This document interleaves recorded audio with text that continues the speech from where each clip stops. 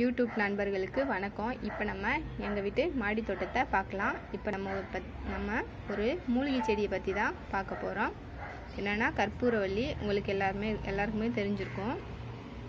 எல்லா வீட்லேயுமே ஒரு இருக்க ஒரு கூடிய ஒரு செடி துளசி செடி மாதிரி எல்லார் வீட்லேயுமே இது வந்து மேக்ஸிமம் இருக்கும். பாருங்கள் எவ்வளோ நல்லா வந்திருக்குன்னு.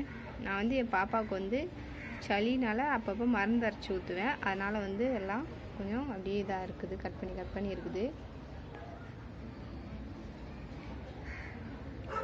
வந்து இந்த செடி வந்து நல்லா சளிக்கு வந்து ஒரு சிறந்த மருந்தாக வந்து இந்த செடி வந்து பயன்படுது.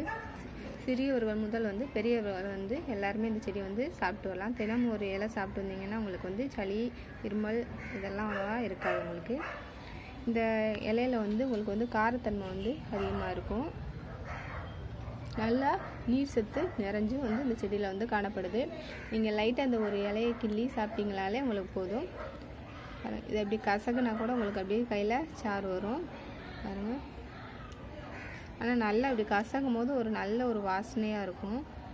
நீங்கள் ஒரு வீட்டுக்கு முன்னாடி வச்சிங்கன்னா உங்களுக்கு ரொம்ப பூச்சி தொல்லை இதெல்லாம் அவ்வளோவா இருக்காது. நான் வந்து ஒரு வீட்டுக்கு முன்னாடி தான் எங்கள் வீட்டுக்கு முன்னாடி தான் நான் வச்சுருக்கேன்.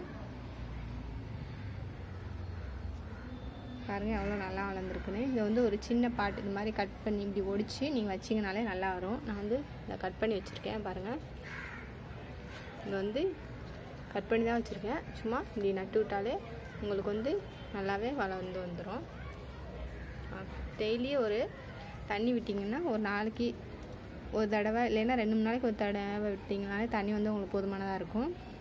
பாருங்கள் எனக்கு கீழே வந்து நல்லாவே ஆனால் ஈரம் இருக்குது. இது வெயில் காலத்தில் கூட நல்லாவே வளரும். கா அவ்வளோ சீக்கிரம் வந்து இந்த செடி வந்து உங்களுக்கு வந்து காஞ்சி போகாது. மண் கலவை பார்த்தீங்கன்னா நீங்கள் வந்து எல்லா மண்ணுமே வ வை வைக்கலாம். எல்லா மண்ணுமே நான் வந்து நல்லா வளரக்கூடியது. இந்த வீடியோ உங்களுக்கு பிடிச்சிருந்ததுன்னா லைக் பண்ணுங்கள் ஷேர் பண்ணுங்கள் கமெண்ட் பண்ணுங்கள் தேங்க்யூ ஃப்ரெண்ட்ஸ்